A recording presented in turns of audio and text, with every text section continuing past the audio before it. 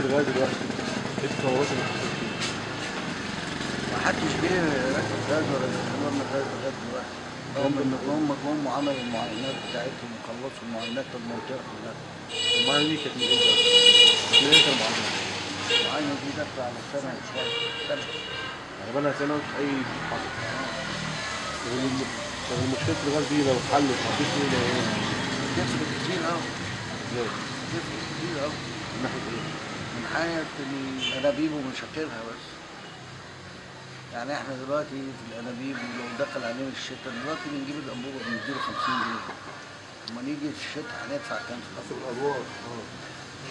كل ما يطلع أعلى كل ما يطلب أكتر.